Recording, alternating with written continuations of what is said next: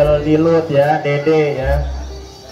Double dilute sebenarnya cirinya di mana double dilute itu? Double dilute itu ada ciri kelihatan dari kepala juga. Dari kepala ciri utamanya itu dari kepala sama leher itu pasti ada jeda warna ya. Tidak rata dari kepala leher punggung itu rata semua. Kalau rata semua itu sudah masuk ke pastel ya. Ini buat edukasi jadi double dilute itu ada jeda ada perbedaan warna antara di kepala sama leher ya warnanya ada yang merah protol-protol ya ada yang merahnya mulus ya kita cari warna yang mulus tentunya merahnya ya mulus Terus warna merahnya juga sama, harus sangat merah karena ini poin pertama penilaian resikin adalah warna merah ya. Itu. Terus dari eh, ini dari warna sayap ya, sayap dan ekor. Jadi cirinya seperti apa sih di warna sayap dan ekor? Karena selama ini banyak yang eh, simpang siur, dede sama pastel ya sebutnya ini bilang pastel aja kan bilang dede ada yang bilang dede ini katanya pastel nah dari mana perbedaannya coba. Nah kalau dede sudah jelas kan di pangkal sayap itu eh, masih ada genek ya itu ya. Ada genek ya. Hmm. genek yang warna agak hitam-hitaman ya dede ya di pangkal sayap ya. Bukan warna putih ya di balik warna merah di sebelahnya ada warna hitam ya clearnya ya. Ada warna hitam sedikitnya terus di sayapnya di ujung sayap cirinya dede itu selalu masih ada kabutnya seperti bersihnya dede selalu kabutnya nggak pernah lepas. Selalu ada kabutnya walaupun tipis. Dede itu. Jadi warna sayapnya putih tapi di ujungnya itu ada kabutnya. Gitu. Terus warna punggungnya merahnya lebih kental biasanya. Merahnya. Beda sama pastel. Kalau pastel itu dari uh, arah kepala leher punggung itu hampir rata warnanya hampir ya semua ya warnanya merah-merah semua hampir rata. Terus lehernya juga kalau yang pastel itu hampir tidak ada warna hitamnya atau coklatnya ya. Kalau dede selalu di leher itu ada tanda hitamnya. Walaupun sedikit tapi ciri dede selalu ada tanda hitamnya. Seperti di ujung sayap di ujung ekor selalu ada tanda hitamnya walaupun sangat soft ya tetap kelihatan. Tapi kalau yang pastel dari warna sayap sama sayap itu soft sekali rata walaupun dia krep tapi tidak berdebu di ujung-ujungnya. Soft ya rata itu ya. Seperti itu dede ya. Masalah penilaian? Masalah dede sama pertama itu dari warnanya kedua itu dari kebersihan sayapnya terus dari ekornya ya terus dari kaki ya sama paruh. Kalau dede itu selalu putih ya paruhnya ya. Yang baik itu kualitasnya adalah yang kakinya putih paruhnya putih. Kalau yang paruhnya hitam kakinya hitam memang ada dede. Cuma karena dia ada darah silangan tadinya itu mungkin nenek moyangnya masih ada darah klasiknya. Karena di negeri kita itu eh, ternak itu sebetulnya eh, mengandalkan materi yang ada bukan menurut teori ya. Jadi kalau mau teori di luar sana katanya gitu kalau kita ngawinin untuk breeding itu sebaiknya ya mutasi jadi kawinan sama mutasi. Jangan dikawinkan sama yang klasik seperti itu. Jadi nanti hasilnya itu jadi amburadul ada yang beli uh, visualnya dede dikawinin sama dede. Eh nggak tahu anaknya jadi klasik itu banyak terjadi. Kenapa? Karena itu teori breedingnya tidak dipakai. Seharusnya yang mutasi ya kawin sama mutasi. Minimal itu mutasi yang kelas topat yang paling rendah itu ya. Uh, uh, karena kalau kita mau bikin DD juga kalau dari dilut sama dilut udah keluar DD kan? 25% udah keluar DD gitu. Kalau dilutnya murni. Lebih kalau dilutnya kita kawin sama klasik ya nanti juga duanya juga ada klasiknya satu saat itu selagi gen nenek moyangnya masih nempel di darahnya dia akan selalu keluar di anak-anak berikutnya. Nah itu.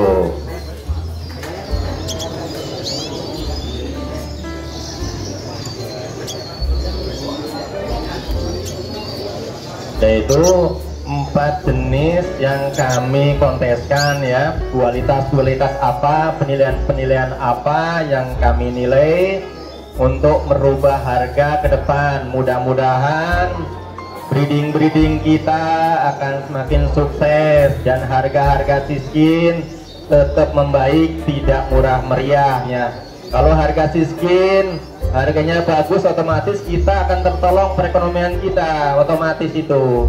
Cuma kalau ternak kita dijual murah. Ya kita dapatnya juga apa seperti itu. Kita udah capek-capek harganya murah seperti itu. Sebetulnya menghancurin harga itu diri kita sendiri. Coba kalau kita berpatokan ya harga jualnya berapa? Makanya itu akan uh, uh, di luaran sana harganya stabil tidak murah ya. Kalau memang harganya udah kena patokan ya jualnya patokan aja seperti itu. Jangan jual di bawah patokan. Jadi kita e, mendapat penghasilnya kan enak gitu. Mm -mm. karena banyak sekali orang yang breeding breeding tadi di Pak Tetu itu dari KSN dibilangin dari breeding siskin itu banyak mendapatkan sesuatu ya. Sesuatu sekali ya. Terutama ya ekonomi ya. Ada yang bisa beli rumah ada beli mobil ada yang haji ada yang beli sawah ya. Kayak di sini Pak Haji Mamat itu yang datang dari Tisirung itu eh Tisirung itu dari mana itu? Merbas ya dia beli tanahnya di Garut banyak tuh dari Siskin itu. Motor dari Siskin itu Pak Haji Mamat ya. Mobil juga dari Burung Siskin Pak Haji Mamat itu ya. Sukses ya Pak Haji Mamat. Terima kasih ya atas kehadirannya ya sama rekan-rekan ya. antik bos. Maaf ya ini bercanda. Oh, iya. Nah ini yang bisa saya sampaikan masalah yang dinilai sekarang ini nah kami dari KSN belum bisa menilai jenis yang betinanya ya sementara masih di jantannya sebenarnya di jantannya itu ada ini juga ada rekomendasi ya dari Venezuela ya suruh ikut mengoteskan topat Nah, dari Mr. Hendrik di Venezuela ya. Dia minta untuk uh, mengkonteskan jenis topas. Nah, waktu itu saya bilang kalau topas Indonesia itu masih sedikit habitatnya. Saya tanya waktu itu sebenarnya topas yang baik itu itu dibikin dari apa sih? Nah, begitu. Saya pura-pura nggak tahu, padahal saya memang tidak tahu ya. on ya. Cuma kata si Mr. Hendrik bilangnya ya, kalau bikin topas yang bagus itunya, kita bikin dari brown dilut sama klasik. Luarnya itu topasnya bagus, dadanya kemerah-merahan katanya dari pas keluar masih paut ya. Itu.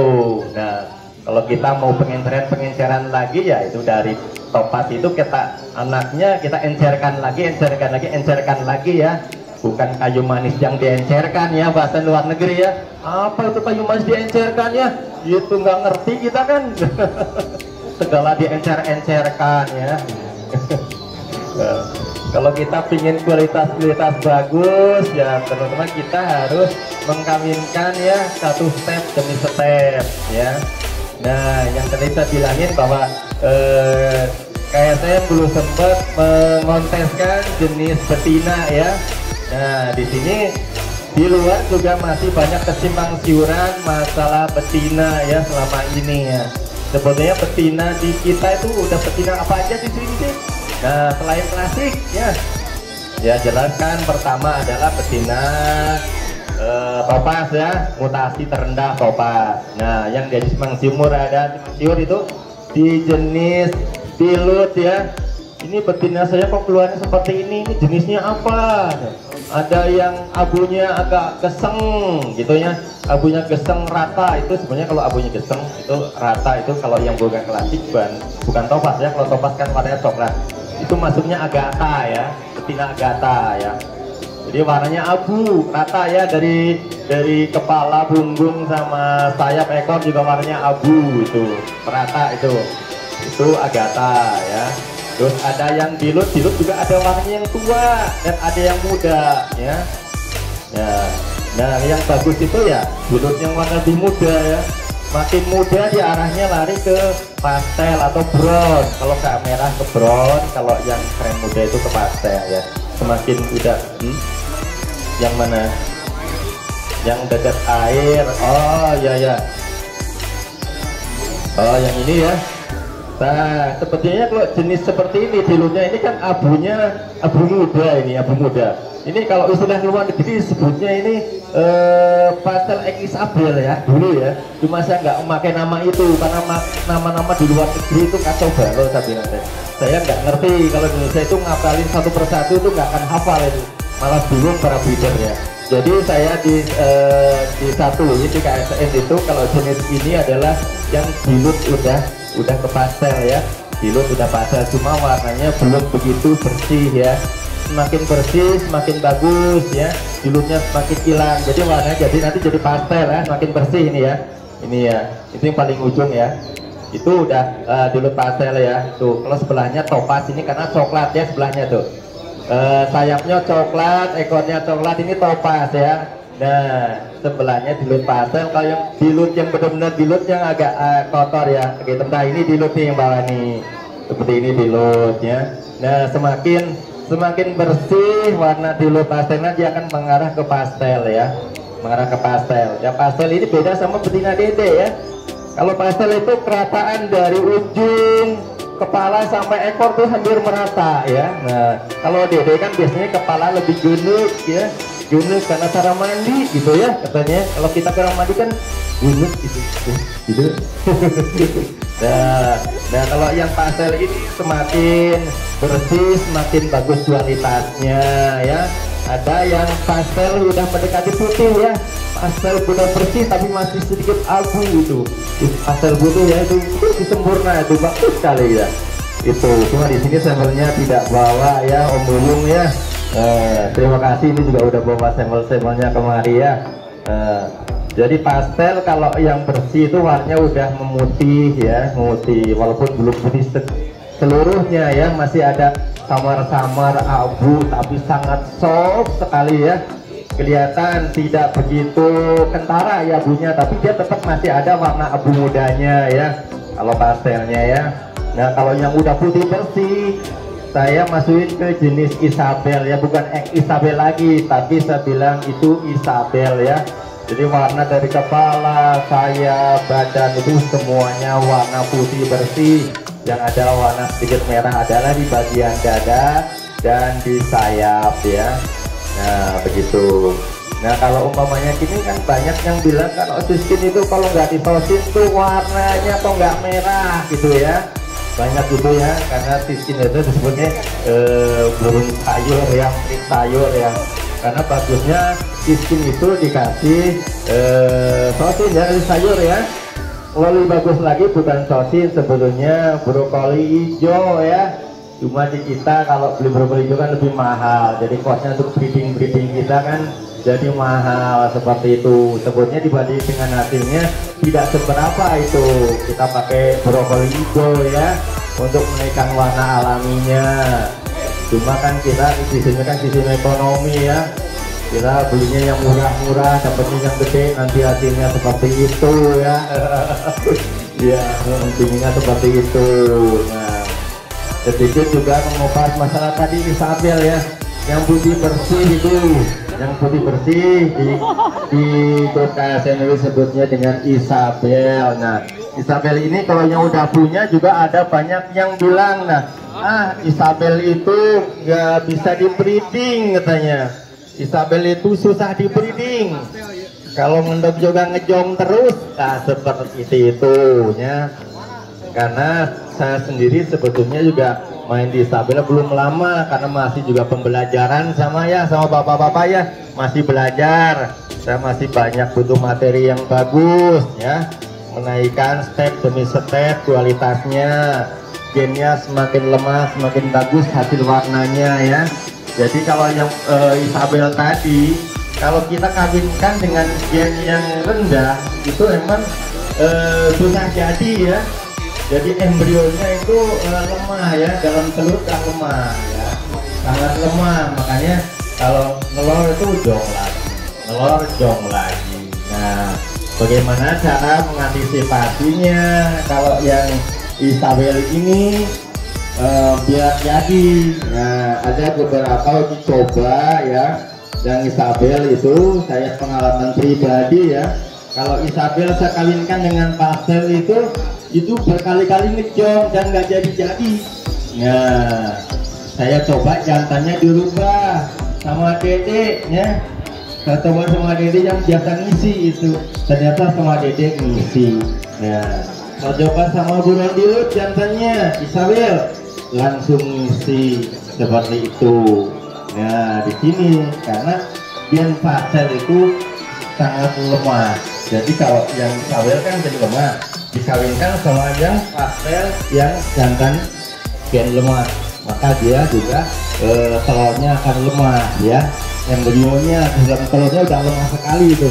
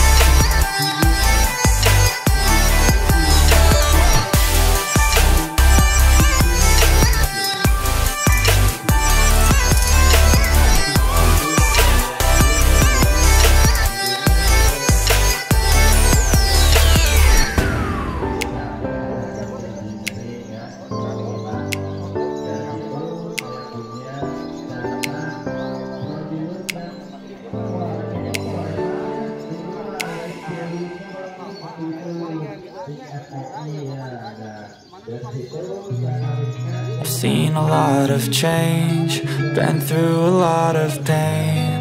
Some things are not the same as they were a year ago. But all will be okay. I move on each and every day. The past is where it stays, way back a year ago. I've changed for the better this time. I thought I would never be fine. I strive just to say I'm alright. And for the first time in a long time, I'm alright. I've seen a lot of change, been through a lot of pain. Some things are not the same as they were a year ago. But all will be okay. I move on each and every day. The past is where it stays, way back a year ago.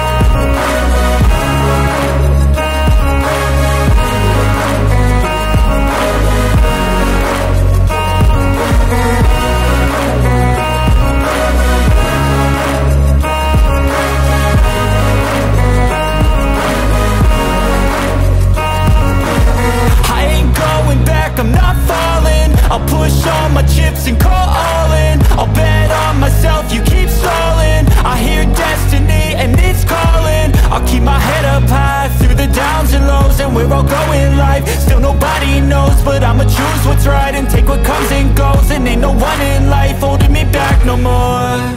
I've seen a lot of change, been through a lot of pain. Some things are not the same as they were a year ago But all will be okay.